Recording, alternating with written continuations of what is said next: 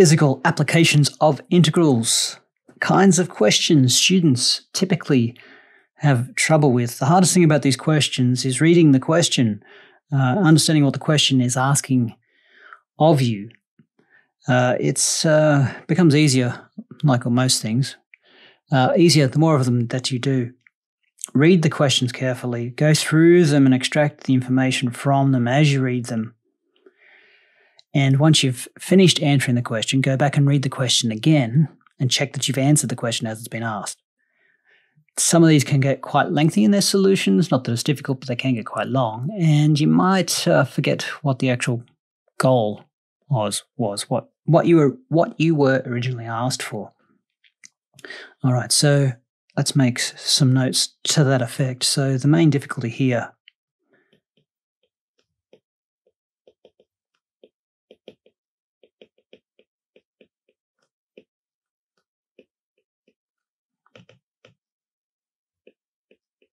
main difficulty here is interpreting.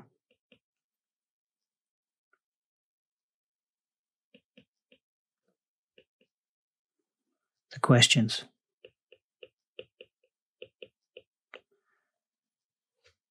So, a lot of students they lose confidence here, thinking, I don't know what to do. It's not that you don't know what to do. Most of the time, it's that you don't understand what the question's are asking of you right?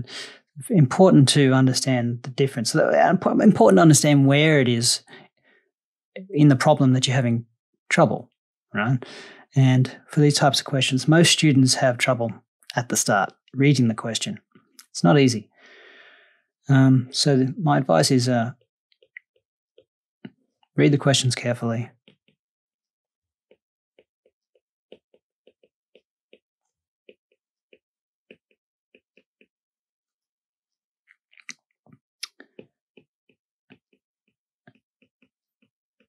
Extracting, does it say extracting? Extracting data as you go.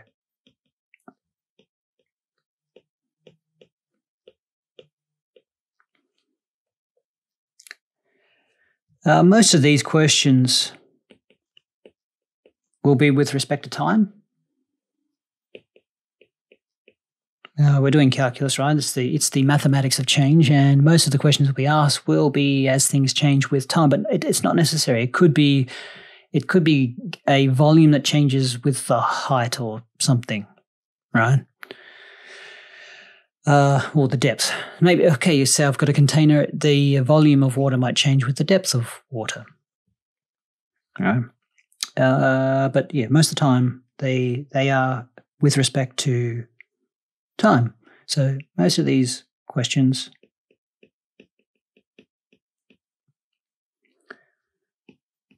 will be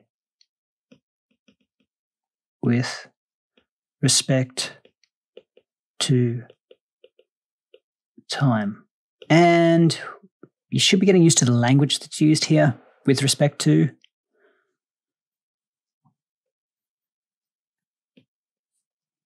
We must be in calculus with respect to time. Uh, and a key term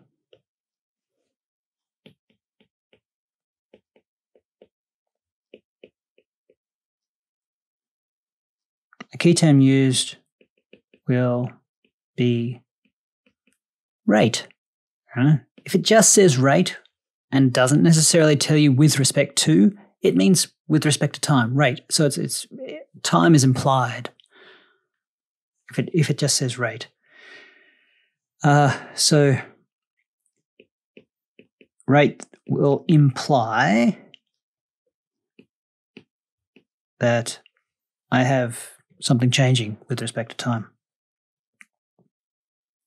Uh, now, uh, you've already done these uh, questions in terms of differentiation. Uh, now you have to apply apply integration. So the questions that we'll be doing in this particular section will require integration with respect to time. So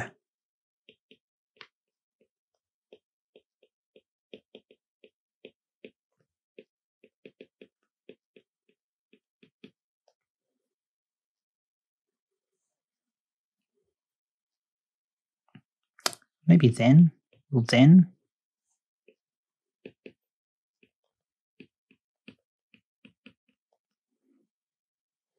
as a consequence of d over dt. Uh, these questions will then require integration, integration, WRT, I'm getting very lazy, with respect to time, curvy t. All right, so example one,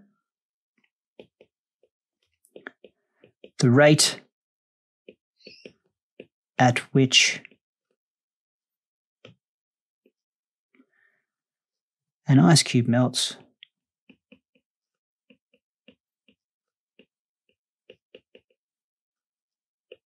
Is given by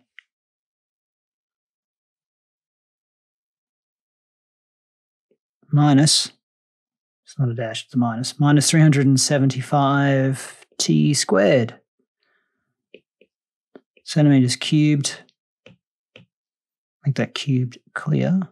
Cubed per hour.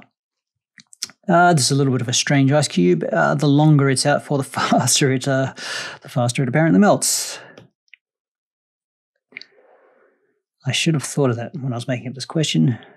Be, probably makes more sense if it slows down. There'd be less surface area exposed as it was melting. Anyway, we're not here to model this accurately. We're here just to answer the question as it's given to us. So many mathematicians will work hand in hand with theoreticians, uh, uh, like a, maybe a physicist is trying to model this particular situation. And this is his model. And he said, Can you please work this out for me? In this case, he hasn't thought about it very clearly. In any case, we can still fulfill his request or her request. Um, and what they want to know is find the time taken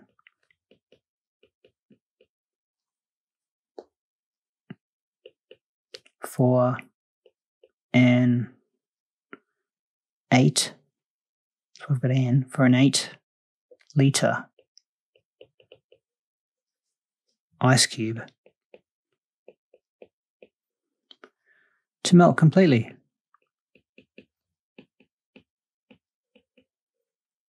complete LE. Whoa, I started completely.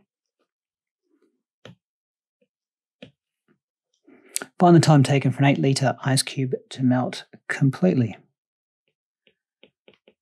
All right, so as you're reading over this question, I mean, there's only really two bits of information here. There's this one and this one.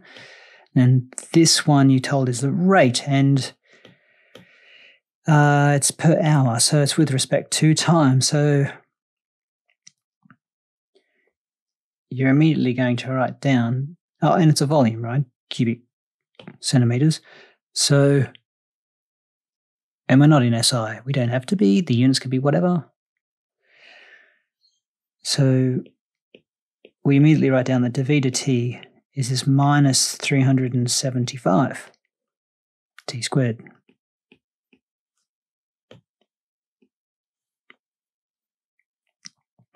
And we're after the time taken for it to melt completely. So we want when the volume gets to zero. So we need an expression for volume.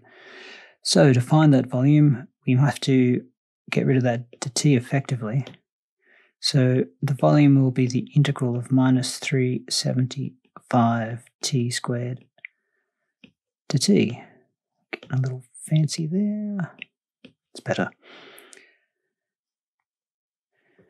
Uh, super simple piece of integration. This one, 375. So watch me make a mess of it on 3t cubed. And plus c. Now, word of caution here.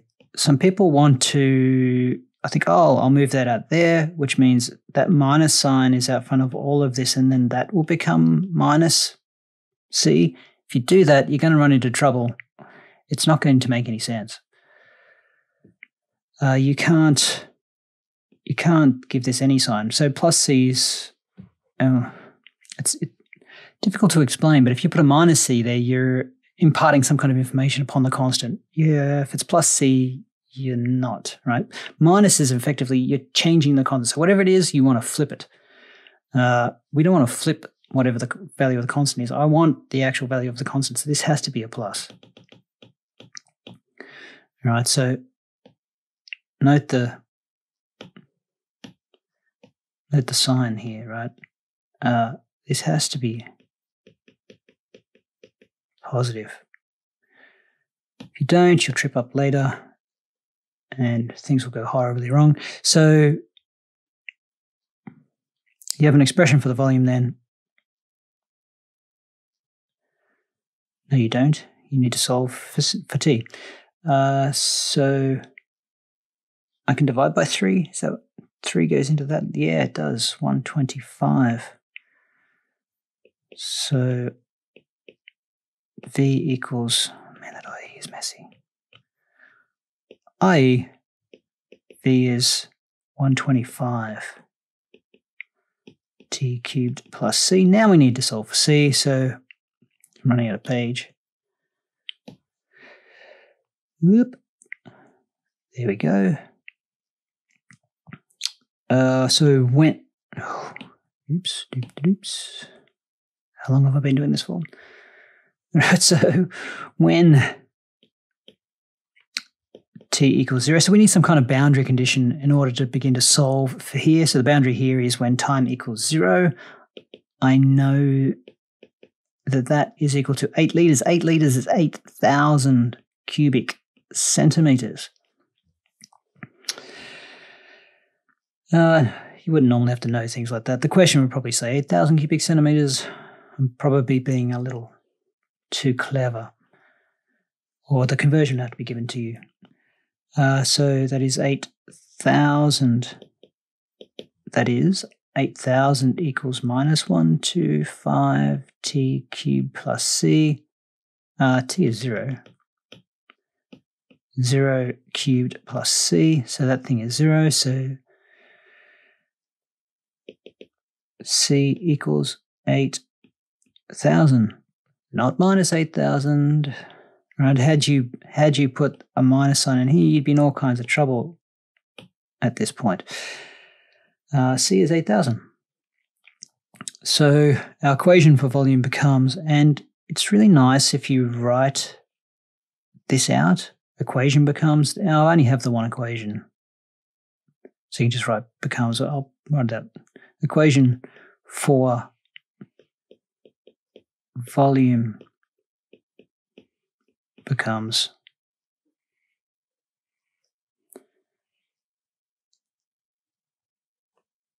volume equals 8,000 minus 125 t cubed. And it helps to highlight that. The examiner is going to be looking for that. You're going to be looking for that when you go back and you, because you're going to be asked to solve it in some way, right? Using it. Uh, and what we are asked for is the time for it to melt completely. So, melt completely is when uh, volume is equal to zero. So, when the volume equals zero, I get zero equals 8 1000 minus 125 t cubed. So t cubed equals 8,000 on 125. 8,120, 64. 64. So t is the cube root of 64. 4 4 is 16, 4 16s. 64, so four hours. Just check your units there. Hours, hours, hours. All is good with the world. It is hours. Uh, four hours, and we're done. We've answered the question. Go back and read the question. Uh, find the time taken for an 8 litre ice cube to melt completely. The time taken is four hours. Done. Important. Go back, read the question again, check that you've answered the question that you've actually been asked. Uh, example two. Uh, no, let's no, let's let's let's let's let's let's write out because the second big class or the major class questions you'll be asked to do with physical motion, and there will be the terms displacement or position, velocity, and acceleration. Uh, and again, you've looked at these in terms of differentiation. You have to do the same with with uh, integration. So let's just write a note on that first. So we have already examined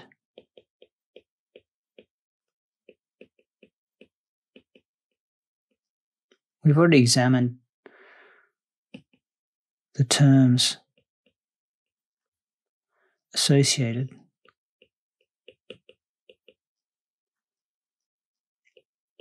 With motion. In the context that's a good word context context of differentiation.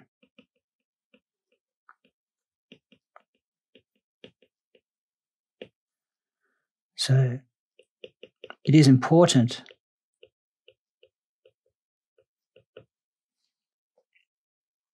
to remember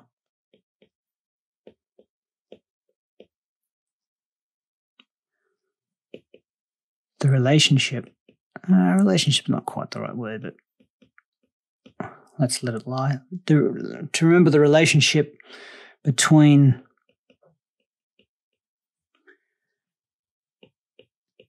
each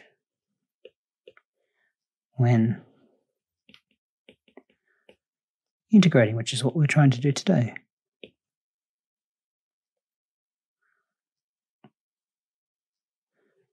So, just as a note, let's draw a table. So, uh, table? Yeah, let's do a table. So I'll put the name of the thing here. So we're going to have displacement. oh, position. Sometimes we just have the word position.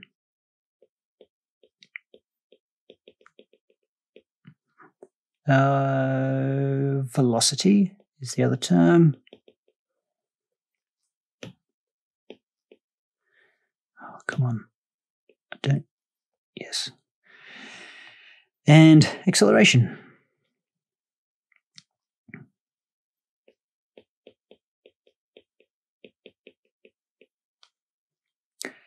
And as you've looked at, velocity is the rate of change.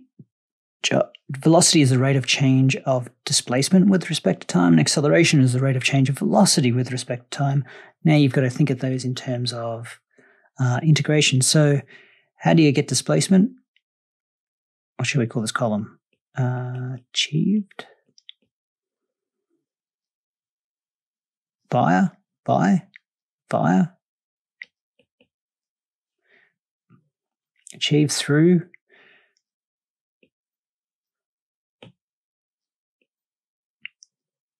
So I need to integrate integrating velocity.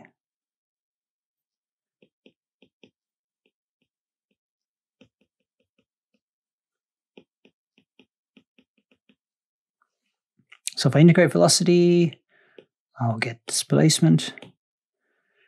If I integrate acceleration,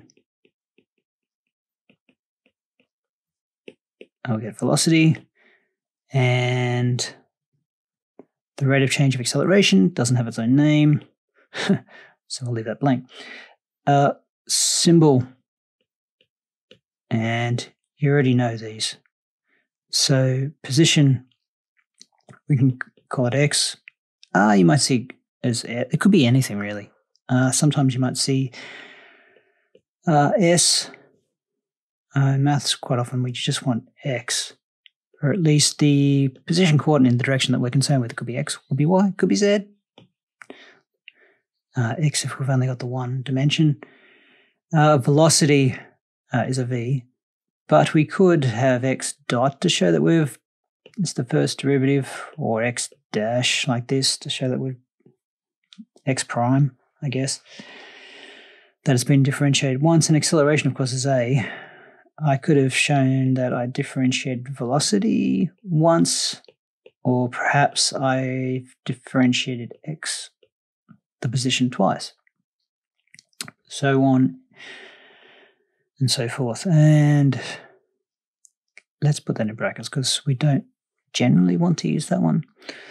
All right, so it's important that you remember these particular names, what they mean, and how you get there.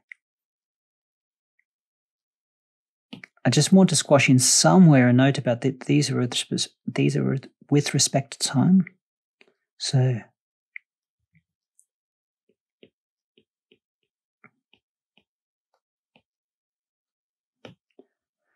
with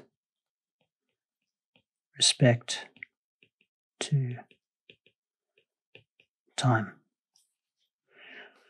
Uh, it is possible to relate velocity, displacement, and acceleration, or at least velocity and acceleration in terms of displacement, maybe. Uh, but in this case, we're just talking uh, with respect to time. All right, so now I'll launch into an example.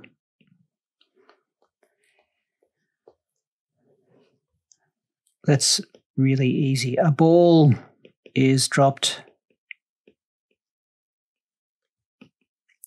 from a window.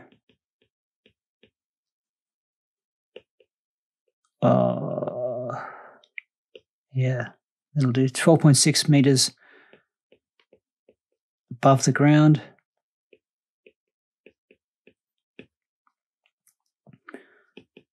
Find the, it could be asked many things.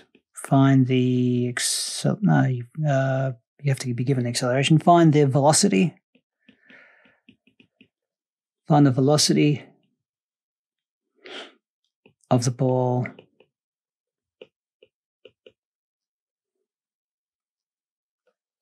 just before, in the instant before it hits the ground. Find the velocity of the ball just before it hits the ground and how long it takes.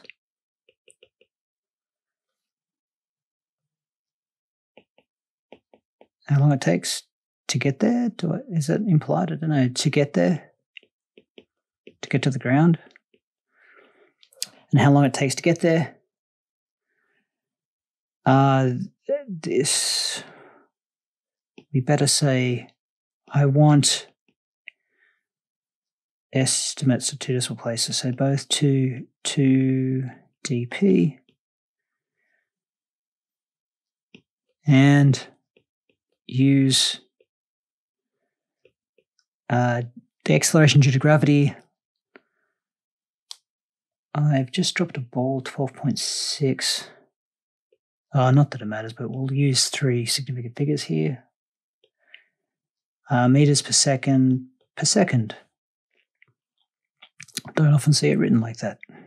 Just for fun. All right, so insert another page, please. Thank you. Go back to the pen. All right. Uh, solution. Now, this thing has been dropped straight from the window down. So I'm going to assume that that's positive and that this is zero. My origin's up there and down is positive. Just save me making a mistake with negative signs. People seemingly have trouble with minus signs. I do. We drop them all the time. Let's avoid them when I can. So that allows me to write the acceleration is equal to 9.81 positive. Straight down. Velocity as we've been told, where I want to find velocity, I need to integrate the acceleration. So, so, so, so the velocity is equal to the integral of acceleration with respect to time. This case, that is going to give me, it's over the page, let's write v again. v equals the integral of 9.81 to t which is going to be equal to, you know, I should try and save a little more space. Yeah, let me do that. Let me, let me reduce my integral sign, although this is in the last example, it's quite lengthy. Let me just squash it in together. So velocity then is the integral of acceleration to t, which is the integral of 9.81 to t. And nothing could be simpler. I get 9.81 t plus c. So then I need to use my boundary conditions to try and find out uh, a value for c. So my boundary condition is when I first start, the velocity is zero. So when when t equals zero, the velocity is zero. So I get this situation zero equals 9.81 times zero plus c, which implies, oh, let's have a therefore. Therefore, c equals zero. Uh, so my equation for velocity is so, and it's nice if you can write these out in full equation for velocity is v equals 9.81 t. And good idea to highlight that. Both you and the examiner will be looking for that. Uh, can I answer any of these questions? I need the velocity before it strikes the ground. I do need velocity, but I need to find out how long it takes before I before it gets there. How long in terms of time?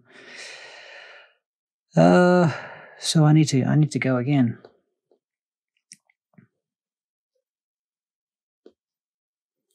Uh, blue pen in hand. Yes, yes, it is. So now let's let's go again. I know, I know that x is the integral of the velocity with respect to time. Why is there an extra little dot in there?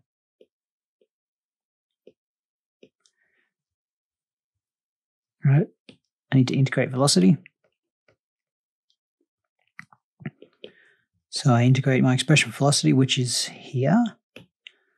9.81 t to t with respect to time.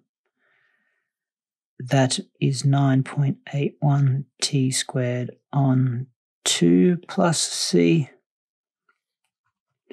9.81 is 4.9 4.905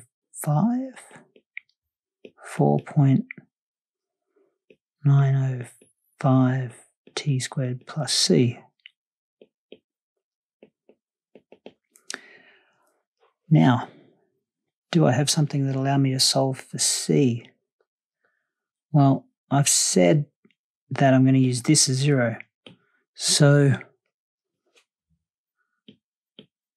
when t equals zero, x is zero,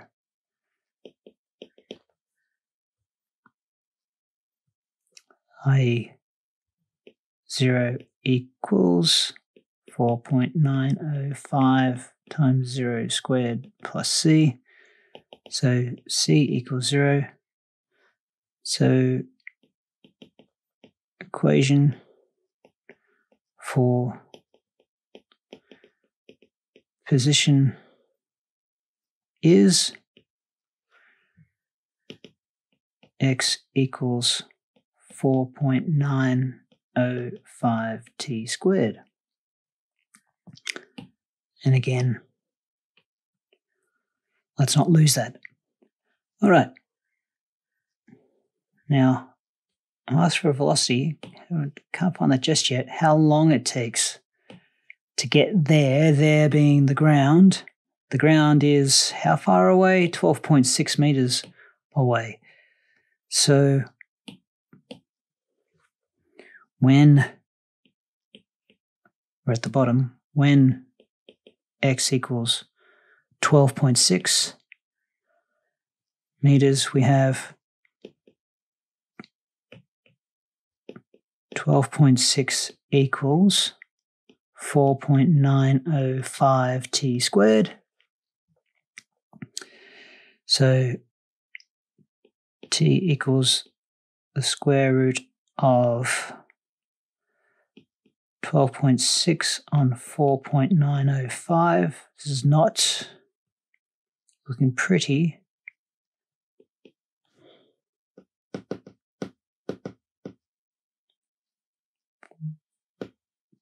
Square root 1.60.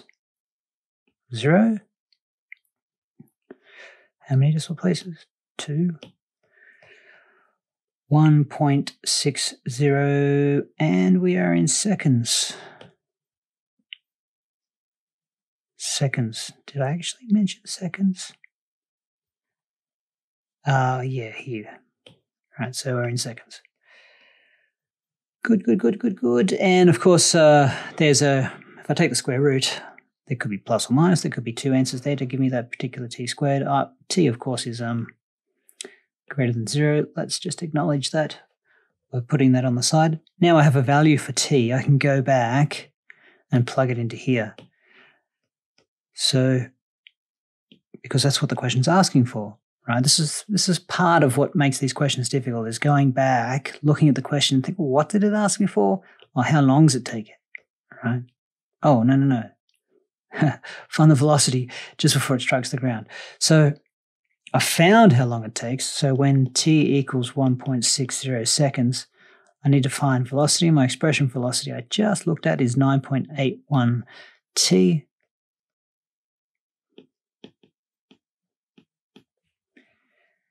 Which is, oh no, substitute trade in. 1.60. So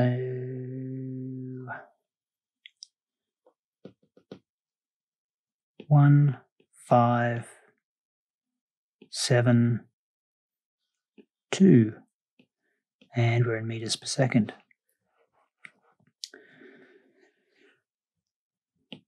Helps to be explicit. So the velocity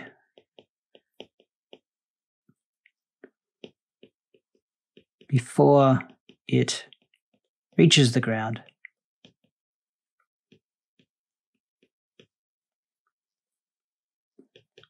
is 15 point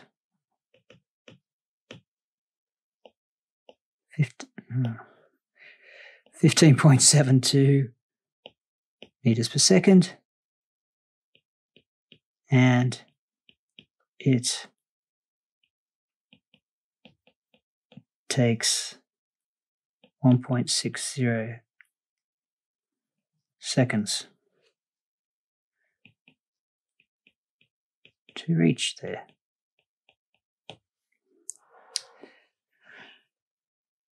V1572, 1.6 seconds. Again, super important. Go back, you finish now. Go back, read the question again. Find the velocity of the ball before it hits the ground. Yep, done that.